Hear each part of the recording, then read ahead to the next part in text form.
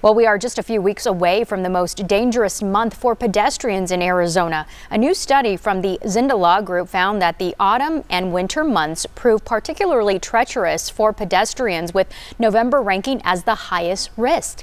Well, data from the National Highway Traffic Safety Administration indicates that between 2017 and 2021, there were over 400 fatal motor vehicle crashes which included the death of over 100 pedestrians in November, marking this as the most dangerous time for pedestrians to take a walk. So if you do decide to take a walk in those darker hours, make sure to wear reflective clothing if possible and travel in a well-lit area. Well, some good news for our local water services. The U.S. Environmental Protection Agency